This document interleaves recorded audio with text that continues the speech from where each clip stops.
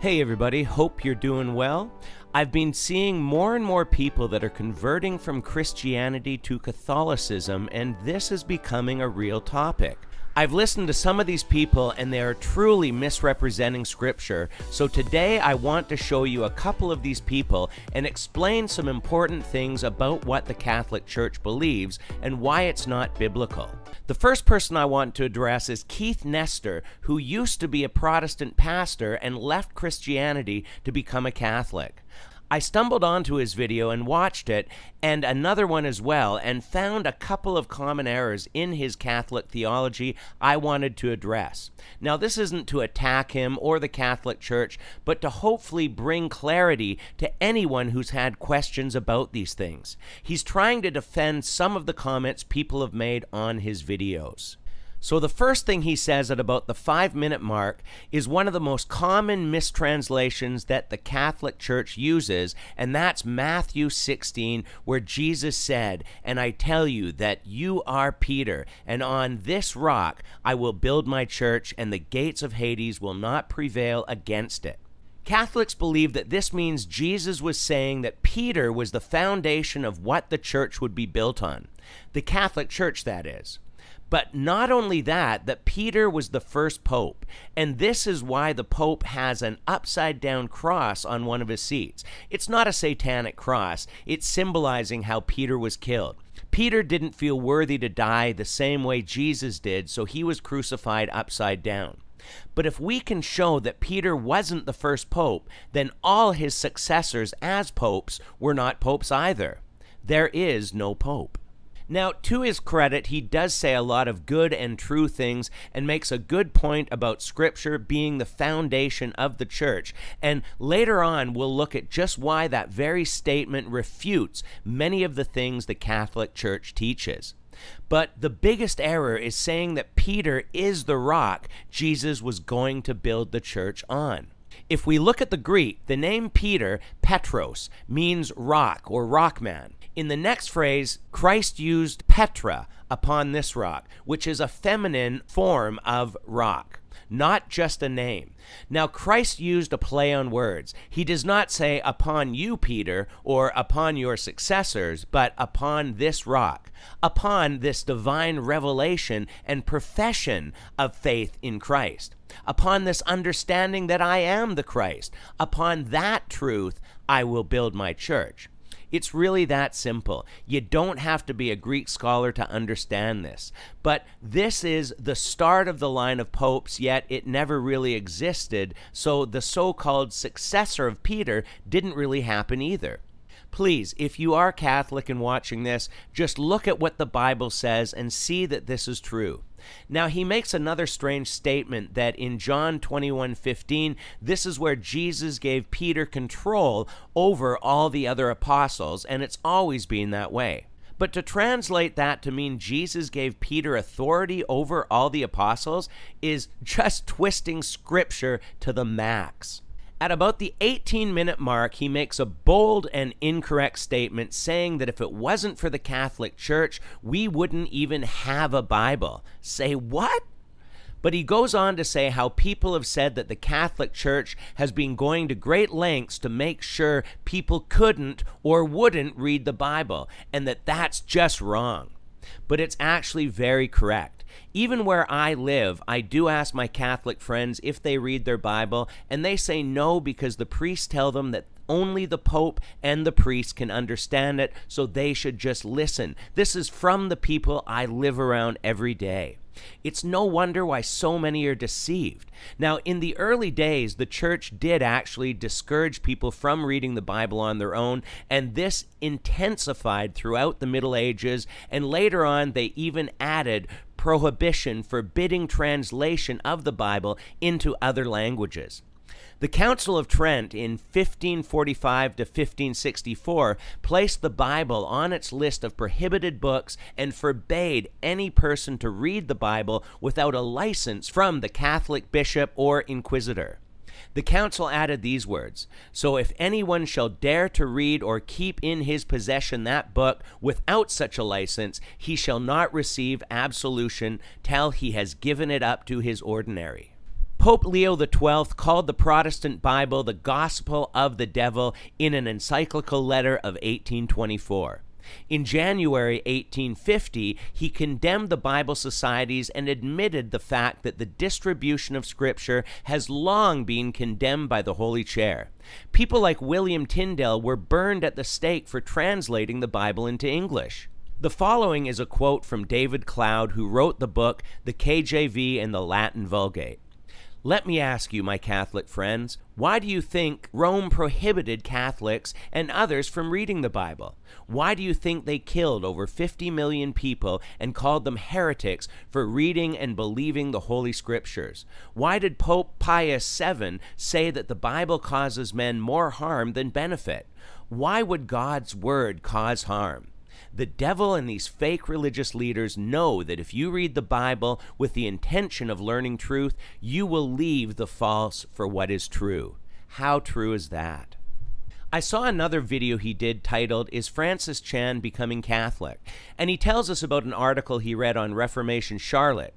But the strangest thing I heard him say is that the Eucharist is the center of Christian worship and that we've replaced it with focus on a person teaching. We've removed the focus from being about the Eucharist, which, which according to Francis Chan, which again, he's just saying the truth, that, that, that was the center of Christian worship. Hey, guess what? Newsflash, it still is in Catholicism. Am I misunderstanding something there? That just sounded weird to me. Anyhow, I then saw in my sidebar a title from Lizzie's Answers on 10 heresies I believed as a Protestant, and I had to check it out.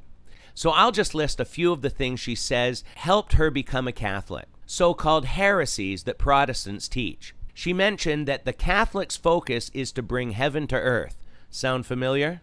Maybe they're friends. That Mary was actually a perpetual virgin and Jesus didn't have any brothers. She said God had a mother. She said we're not saved by faith alone, and she goes on about works. She says that images and statues are important and that sola scriptura is not good and we need other opinions. you can't make this stuff up, and I will leave a link to these videos below. But I really am surprised to see so many other videos of people that are changing from Christianity to Catholicism.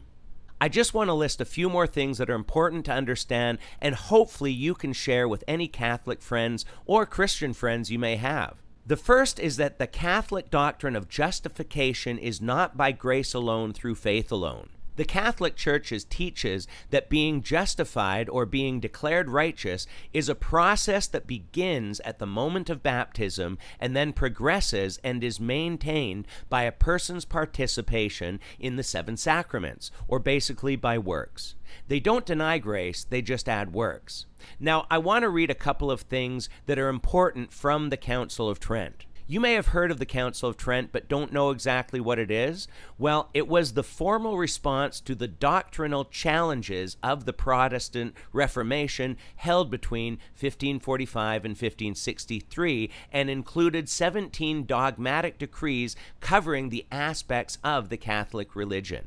In Canon 32 it says, If anyone saith that the good works of one that is justified are in such manner the gifts of God, as that they are not also the good merits of him that is justified, or that the said justified by the good works which he performs through the grace of God and the merit of Jesus Christ, whose living member he is, does not truly merit increase of grace, eternal life, and the attainment of that eternal life, and also an increase of glory, let him be anathema. In other words, if you are not saying that works add to your salvation and help maintain it and assure it, you are cursed. And Canon 24 says, If anyone saith that the justice received is not preserved and also increased before God through good works, but that the said works are merely the fruits and signs of justification obtained, but not a cause of the increase thereof, let him be anathema. So, this is saying that if we say works are the fruit of salvation and not part of the cause, we are also cursed. So the basic statement is this justification is a process that starts at baptism, but you're not totally saved yet. There's all these sacraments you have to do, that is, good works to be really saved. Not like the Christian belief that when you are saved, you are saved. With this, you have to keep working at it, and you're never really sure of it. You always feel uncertain. So, with Catholic theology, you can have faith in Jesus, but not be good enough to be saved. Salvation is also a temporary thing that can be lost just in a moment when you commit something called a mortal sin. You lose all the grace Jesus has given you when you commit this sin. It's gone. To make it even more confusing, there isn't an actual list of what mortal sins are. Some are obvious, like murder, but they don't have an actual list. So, once again, you never really know if you're secure or not. But they do have what they call the sin of presumption, which is the presumption that in 10 years you're still going to be saved. So, assurance of salvation to a Catholic is arrogant. Why? Well, if you're basing your salvation, or at least part of it, on your good works, then yes, that would be arrogant to assume you're going to be saved and good the rest of your life. But if you're basing it on the finished work of Jesus on the cross, then it's not arrogant, it's just faith. The Council of Trent also says that salvation is given as a reward promised by God Himself to be faithfully given to their good works and merits. And merits is another way of saying what you earned something you deserve to get. Yes, we earn rewards, but not salvation. Pope Bonifacio VIII said in November of 1302, We declare, we state, we define that it is absolutely necessary for the salvation of every human creature that they be subject to the Roman pontiff. And from that statement came the Catholic doctrine of extra ecclesiam nulla salus, that outside the Catholic Church there is no salvation. The Catholic Catechism says that all necessary truth is found in the Scriptures. This is a big problem because there is no Pope in the Bible, never mind saying that we have to be subject to him. And the last thing I want to bring up is the idea that the Eucharist actually turns into the blood of Christ and is his flesh. This is called transubstantiation. They read this as being literal, but it was obviously figurative language. When Jesus said, I am the vine and you are the branches, did it mean he was actually a vine and we are actually branches? When he said to the disciples, You are the salt of the earth, did they turn into salt? And when Jesus said, This is my blood, was he actually holding a cup of his own blood? Did he already die? Were there two Jesus? No, it was figurative speech. There are so many other things we could go through, but these are just a few. We truly are in the last days as things fall apart before Christ's return. Pray for Francis Chan and all who are deceived and involved with the ecumenical movement. And don't be afraid to stand tall and preach the true gospel of Jesus Christ. That's it for today. So if you did find this information helpful, please like, share, and subscribe. And don't forget to ring the bell to get all the future notifications. But until next time, take care and God bless.